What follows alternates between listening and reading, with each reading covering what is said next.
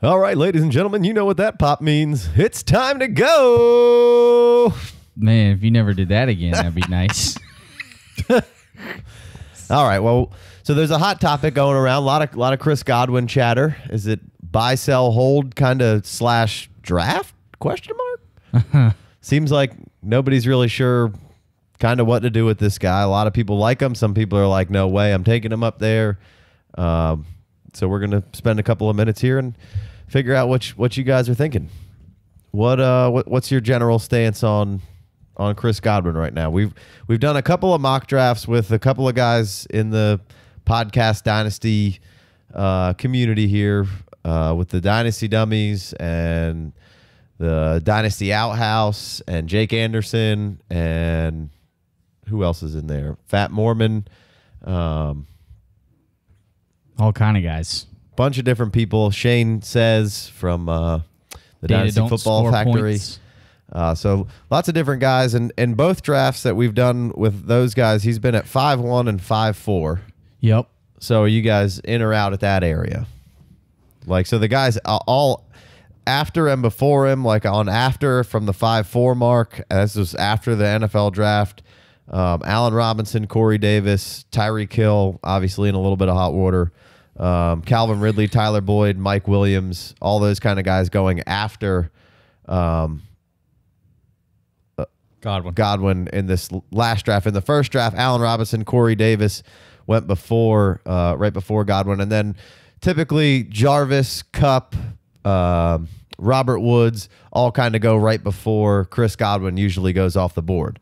Yep. Um, so, do you think he's properly rated, overrated, underrated? You in on him? What What do you got right now in in a, in a startup draft? I think he's properly rated. I mean, I was sitting there with the five, uh, four twelve and five one turn, and I was debating. I, I I could feel the Chris Godwin heat, like it was breathing down my neck. It was some fire, like because I knew I wasn't going to get him if I didn't take him there. And it was guys like Jarvis and all the guys you said. It's like a tier of guys right there. And Bobby Woods and Cooper Kupp had went off the board just before me, and I probably would have taken either one of those guys if the, if they just fell to me. But I was sitting there stuck between basically Godwin and Jarvis Landry is what it came down to me. And I didn't have a wide receiver at that point. So it's like, is he going to be your wide receiver one kind of thing? Like, can you lean on him like that? And it's like, it's it's hard to it's hard to feel that he, that he can, especially he's not even the number one guy on their team. But I Some people think he's going to. Uh, they're playing old Mikey well, Evans. that's just for clickbait. But I They mean, said that was their that was their plan last year. Didn't Yeah. exactly happen. yeah. I went back and like listened to what we've said about Chris Godwin over the years, right? So we, we took him in our rookie mock it up before he fucked it up in 2017. He went 2 2, which is right where ADP was at the time for rookies. And then we did, I searched on our webpage, the ffdynasty.com, just searched Chris Godwin up in the search bar, and a YouTube video came back that said the title of it was Buy Chris Godwin Before It's Way Too Late. And that was March of 2018 when he had an ADP of I think 81 or 88 or something like that in that range. And now he's up to 48. So like we've been Basically doubled in value. right, and we've been bringing you along this whole time. If you've been listening to us, you've bought him cheaper than he's ever been, which is right now he's as expensive as he's been, and it's probably going to continue to go up. And I mean, I think I think I'm in. I mean, what's not to like? All right. Well, you know, it, Chris Godwin's a ball player. There's you, you, uh, he's good. Any chance the ball, anytime All the right, balls, Jon Gruden. anytime the balls come at him, he's he's looked good doing it.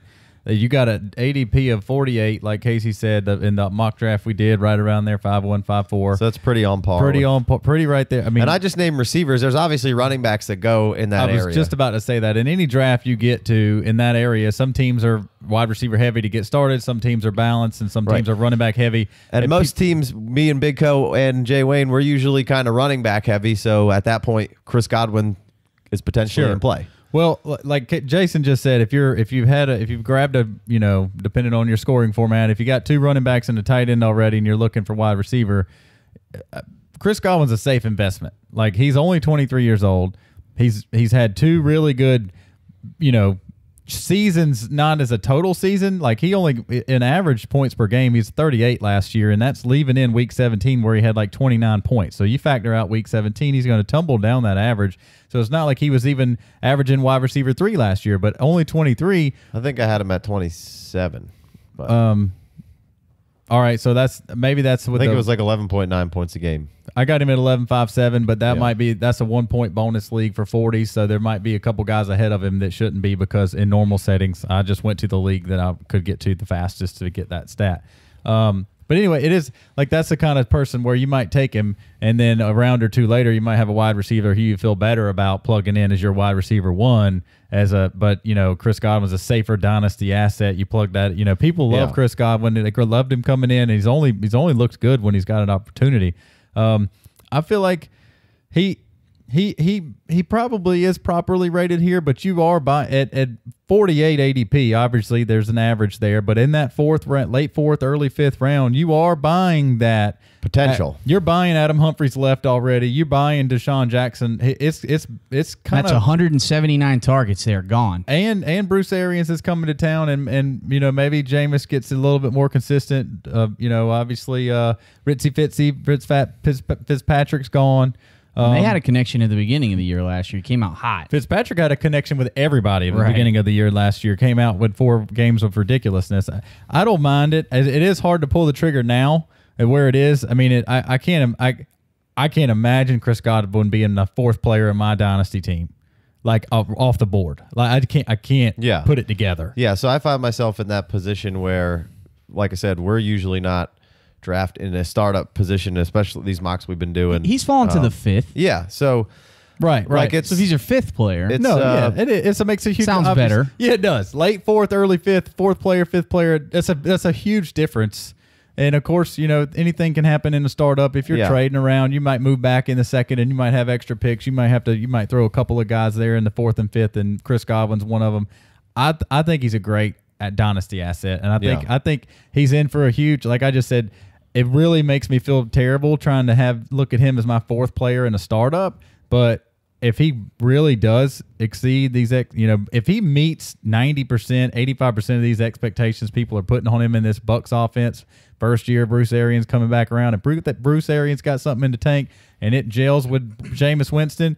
Next year, you could look at him as being your second or third player on your team in a startup. You yeah. know, Well, that's what you're hoping for. You're hoping for that you're kind of paying right now for what could be this year, and then hopefully next year it's up it's up another slot, another round or so even Exactly. uh, from where this guy can go. But usually I'm in a situation where I've probably got three running backs, uh, and I'm I'm not typically a guy who's going to have a quote unquote receiver one on his team. I'm going to be grabbing a bunch of receiver twos with weekly receiver one upsides Yep. like Robert Woods and those kind of players. So Chris Godwin, I think, does have some receiver one week to week upside Oh, here or there. I definitely And agree with that. I but I do I have found it hard to be in that position, and I have passed on Godwin once or twice.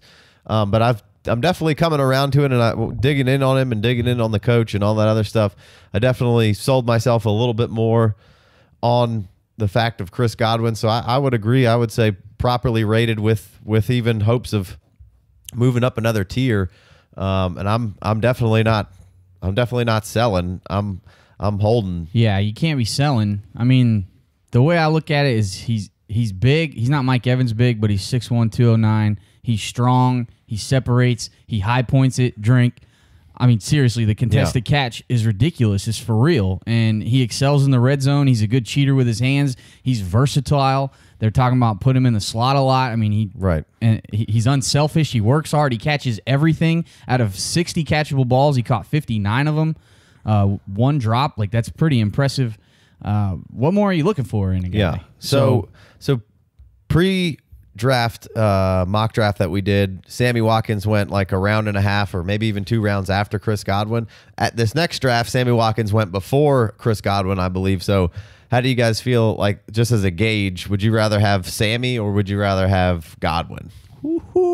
I mean, I, I've I would have. I'd rather have Godwin for the safety. He doesn't have a problem with his foot. Right. If Sammy's healthy in the two first years five young. weeks, Sammy could absolutely annihilate it this year, but I, I- I've been on the train of like, well, he's finally back. As soon as he's getting going, he's off of my team. Right. And I- would I trade him for a Chris Godwin? I, ah, man, I think I might. The the top of the mountain upside of Sammy Watkins is probably better than Chris Godwin, just based Oh. on what's going on. But I it's agree with it's that. it's whether or not like I just want the consistency that I think, Jameis Winston would have to grow by leaps and bounds to get anywhere close to what Patrick Which is Mahomes did. possible. last year. We'll- we'll talk It is about some possible. Bruce It's Arians possible, here, but like uh, after the break, you but, know, uh, you know what Mahomes and Andy Reid's bringing. Yeah. And if Sammy Watkins can stay healthy, the sky is the limit. It really is. But it, there's so much more gamble there. Yeah. And I would rather have Chris Godwin. right.